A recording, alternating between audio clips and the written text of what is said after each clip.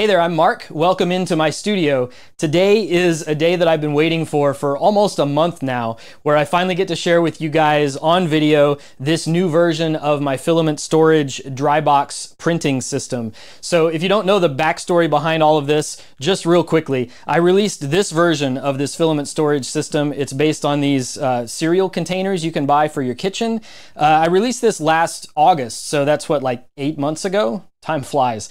So anyway, uh, ever since then, you guys have, have given me a lot of great feedback about this. It honestly has gotten way more traction than I ever imagined that it would. It's been really popular. So thank you for all the support on that. Uh, it's been great. However, there have been a few things about it that I don't like as I've used it over the last several months, and I've wanted to update it and release a new version. And so a couple of months ago, I finally sat down and thought about you know the things that I'd like to change and fix about this thing and I've updated it and here's the new version. It's released today. So just to get the important stuff out of the way first uh, the links are going to be down in the video description for the listing over on printables.com where you can grab all of the files to print these things and there's some basic instructions for how to assemble them there at printables with some images um, however, what I plan to do is after this video, which is just going to kind of introduce the system and show you all of the things that it can do, there will be uh, a playlist here on the YouTube channel with some more in-depth videos about how I recommend printing the parts for this, how to assemble, you know, with, with a step-by-step -step guide, and a bunch of other stuff about the system. So if you're interested in that, make sure you're subscribed and you watch the playlist that this video is the first uh, video on that playlist because other videos will be coming very soon talking about this in more depth. But for today, what my plan is, is just to show you the old version, the new version, what's changed and improved, and some of the cool things you can do with this version, which you see here in my hands, as well as kind of on the wall behind me. Um, so that'll give you a little teaser as to what we're in for for today's video. So with all of that said, let's get right into it. All right, so this version of the container here that I showed you in the intro to the video is definitely the most fancy version of this container. It's got all the optional features and everything installed on it. So I'm gonna set this off to the side for a minute. We're gonna look at just the basic setup. This is what I call the core system. And so if you're looking on printables for the files here, there's a folder called core system, and these are all of the things that you're gonna need to print. So what this does is it basically just, you take the lid of the container. We're doing, we're building this whole container upside down. You take the lid, it's got this little round piece here that fits into the opening and presses in place nicely and seals in place there. Then it's got this base piece that fits snugly into the lid when you turn the lid upside down. And then we've got these little axle holders which I'll slot them out here so you can see kind of what this looks like. You press bearings into these and then you press them into the axle, just like so and then they slot down right into here like this. Now this version of it that I've got built here, I also have this little mesh cover that I've already installed. This is optional, uh, but the reason that it's here is so that you can put loose desiccant down underneath. So you can see here, you can see your desiccant nicely, which in the older version of the container you couldn't very easily because it was hidden inside of this little round enclosure. Um, so now the, the nice thing about this is you can flip this upside down and you can see if your color changing desiccant has changed color to let you know that it needs to be replaced. So that's a nice thing about that. But if you don't want to use desiccant in your bins, you can just leave this little cover out and that works fine as well. So that's the, the lid of the bin, which is the base of the, of the container. And then all you need to do is drill a hole in the container in this spot. There's a little tool jig. I don't have it sitting around here, but it's there's an STL for it. You can download off of the um, printables listing that helps you line this thing up. So you place it down here along the base and it's got a hole here to show you where that hole should go. And then you just screw it into this little coupler nut that's on the back side of this. And that's all that is required for the lid. There's some other stuff we can add to this later, but this is the basics. And so now we can take our roll of filament and you wanna place it with the filament coming off the roll down at the bottom here. So bottom front. And then we can just manually feed this through the hole here grab it on this side so it doesn't escape, and then you just put this down over the top and clip it shut. And so now we can print just fine. And then when we're done printing, you can put this cap, there's a hole in the cap that's just the right size for filament to kind of fit in there nice and snug. And so then we can push the excess back into the uh, opening here and just push this cap in place. So that helps it to be airtight when you're not using it. And then when you're when you're ready to use it again, you pull this off. The filament comes with it, and then you can pull the rest of it out and you know run it through your Bowden tube to your printer, and then clip the tube in there and you're good to go. So that is the basics of the new system. One of the things that, well, a couple of the things that I like about this as improvements over the old system. Uh, first of all, on the old system, the outlet up here for the filament was up top. And so if you can imagine, especially when you got down near the end of the spool of filament, with it coming off the top like that, it would have a tendency to get pulled up off the rollers, right? So it would pull up like this and run into the front of the container. And several of you had reported that as being an issue, and I noticed it as well with especially these lighter weight uh, uh, cardboard spools when they started running out of filament. So the nice thing is now we're, we're running this off the bottom, right?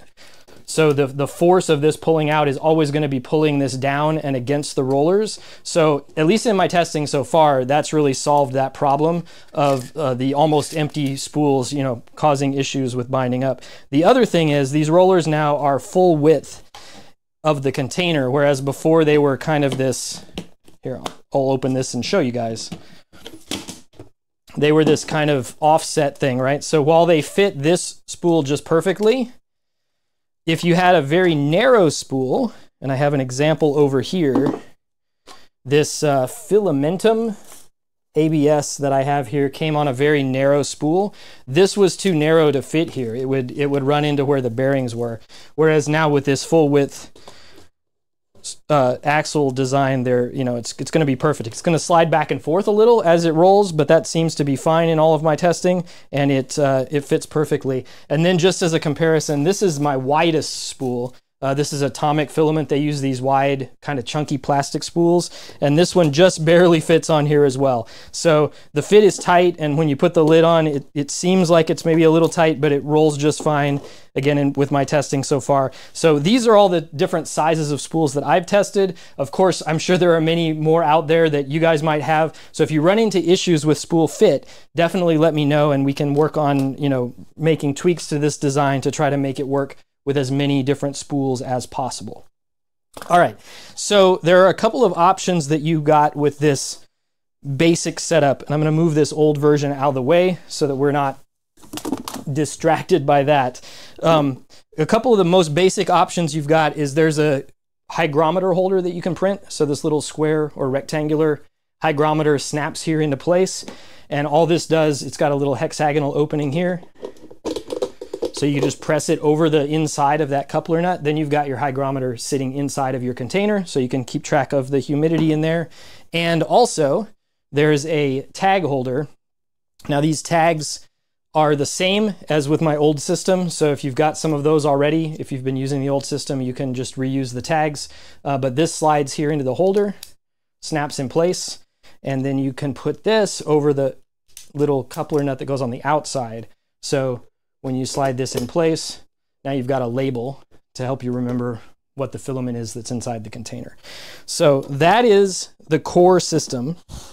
And um, yeah, that's, that's kind of the basics of it. Now there are some additional fancier options that we can get to over here with the extended system. So let me get things rearranged and I'll show you what those things are all about. All right, so we took a look at what I'm calling the core system. And this is the extended version of the system. Now this is basically the same as this as far as everything down here, the base and the rollers and all that is exactly the same. Well, what the extended system adds is basically four big parts. And I've made them optional and separate because you might not always need these. I use them in most of my setup. You can see all the ones back here behind me have these parts. Um, but depending on your situation, you might not need them. And they do require quite a bit of extra plastic to print, right? Because they're bigger and chunkier than everything else we've printed so far. Um, but let's take a look at what these four parts are, and then I'll tell you kind of the different things that the extra features that they add um, that I think are, are, really, really useful. So the way this works is there's these two bracket parts on the inside of the container and then two parts on the outside. The two on the inside are the same part. You just print two copies of it. The front and the back on the outside here are separate parts because they're designed specifically to fit on the top of this container. Um, so you press those into place. You do have to mark and drill four holes. So there's two in the top here, one in the front, one in the back to hold these in place. And you screw through those holes with M3 screws and there's M3 hex nuts on the inside pressed into place here to hold those in place. So these are screwed through the container into this and they're very sturdy. They're not going anywhere, which is important for the wall hanging feature that we'll take a look at in a second because you don't want these falling off.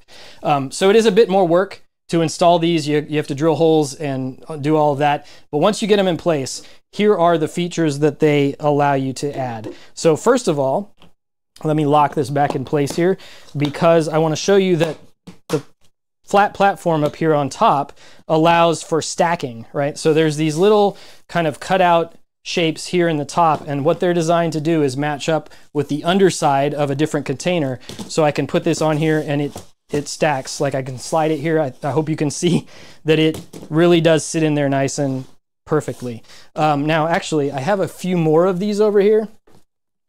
So over in the corner of my studio, I have things like this, and they're stacked like four or five high in a couple of spots, and they're, again, still nice and sturdy, and they're gonna work fine. So for those of you who are asking for stacking, I know there were a few of them, of, of you with the old system that had asked about stacking. We have that now, and it works really, really great. So that's that. On the back side, of this piece here, there's this little kind of cutout. And what this is designed to do is it works with these little slide pieces. Now these weren't designed by me, these were designed by uh, somebody who goes by Cal's Tech Concepts on printables. So I've linked to that over in my printables listing as well. Thanks to them for um, designing these things. This one is specifically designed for my Skadis pegboard. So this slides into the pegboard and then this slides onto the back of here like so. There are versions of this for honeycomb storage wall uh, to mount to 2020 extrusions. Uh, I think there's a version you can just screw directly into the wall as well if you want. And so there are versions of this that should work with just about any kind of wall storage system that you have. And then the nice thing is once those are in place, I've got one right there on my pegboard. I can just slot this in place like so. And so this is where I hang my filament that's currently being used by my big Voron printer here. This uh, just goes in there like this Bowden tube goes right like so, and it feeds around into the printer. And then of course, all five of those over there for my Prusa MMU system are just attached to the wall. And it's nice because it makes it really easy to slide one off and slide a new one on when I want to load a new filament into my MMU over there. So that setup is working really well for me, the wall mounting. Um, the next thing that this does is that the curved inner side here, um, these two brackets have kind of these curved bits. They help with filament management as you push filament back in. So whether you're manually reloading filament and pushing the excess back into the system, or uh, like this MMU, you know, forcibly feeds the filament back in as it loads and unloads filament. Um, there's a tendency, if you're just having a, if you have a plain version like this, for the filament to be pushed back in and for it to jump off the edges of the of the spool to one side or the other, and then the next time you pull it back out, it'll tangle. Um, so what these things do is they prevent to, to, the best of my ability so far, and in my testing, it's been pretty good. They prevent that filament from jumping off the sides. So you can see probably, um, especially with these white colored filaments here, you can see these kind of loose um, wines that have been created by the MMU pushing the filament back in, uh, but those are not going to tangle because they're still within the bounds of the spool. And the next time we load that filament, it'll just pull those tight again and we'll be good to go. So there's still no active rewinding system, at least that I've designed here with this just yet. Um, if you're in, if you have an idea of something that would fit in into this footprint that would be an active rewinding system, definitely let me know. That might be something we look at in the future. Uh, but for now, just having these little guides has helped a lot with keeping the filament on track. Um, and I've run through multiple full spools um, with that setup and with my manual setup here without any tangles or issues. So that's been really good. Uh, and then I think the final thing that these extended pieces allow is you can see there's a slot up here at the top for the filament tags, right? So I showed you with the simple system, we have this little tag holder that can fit right there um, to, uh, to you know, label your filament. But these same tags will slide just right down into here. So you can do that instead of having this separate tag holder. And then also, it's got this little clip. So when you're not using the coupler cap, um, I was losing these. There was nowhere for me to put them when when the uh, when the filament was loaded into my printer, right? So there's this little clip here now, and you can clip that there, and that'll hold that in place. So no more lost coupler caps, and I I like that feature a whole lot. It's been super helpful. You can see up here, all five of those have their caps attached right like so. All right, so that is the extended system. Now, I haven't mentioned it yet, but all of the parts that I print for the inside of these containers, I've been printing in ABS or ASA. Um, the two parts here on the outside, I've just been printing in PLA for two reasons. One, because it's cheaper, and two, because I can print them over here on my Prusa non-enclosed printer while I'm printing the ABS parts over here. So it just helps to save time to print these faster. Um, but these don't need to uh, be able to withstand higher temps. The ones inside do, at least for my setup, because the other thing that I've done is I've created an active drying adapter for this thing, right? So I can pull this off of the bottom here and I can grab this, which is the drying base for the Polymaker Poly Dryer system. Um, so this comes with its own containers. Um, and you can use those if you want, but I wanted to use it with my containers. And so I've got this printable piece. It's big and chunky, takes a while to print, but once you've done it, you only have to do it once. Um, and this fits right on the top of here, nice and snug. And then it adapts. So this little circular hole now just goes in the bottom of here. So I can slot this on here, press it down, it seals nice and tightly. Um, I can set this for whatever temperature and duration that I need to dry whatever kind of filaments inside run that through its dry cycle and it dries the filament and also refreshes the desiccant in there. It's going to take me probably two hands to pull this off because it does slot on there fairly tightly. There we go. So when it's finished, you pull that off, you pop this back on to seal everything shut and I've been able to get, you know, the humidity down to really good levels, somewhere between 10 and 15% on most of my spools, and it will stay that way for a really long time once you've got everything sealed up. So I think that is everything I wanted to show you in this video. Now, if you start to use this system and you have questions or comments or run into issues, um, first of all, check to see if the other videos that are coming later in this playlist are out. They'll show in a lot more detail how to print and how to assemble and all of that kind of stuff for these parts. Um, but if, if those aren't there yet, or if you've got other questions, you can leave them on uh, as comments on this video. You can find me over at Printables, leave me a message there. Um, or if you have a longer form discussion that you'd like to have about an idea or a problem or whatever, um, I do have a Discord for my YouTube community. I'll leave a link to an invite uh, to that Discord down in the description on this video as well. You can jump in there, and I've added a filament storage channel in that Discord. You can um, talk to me there uh, about you know any issues or ideas or or whatever that you want to talk about related to this system. So with that said, I hope this is helpful.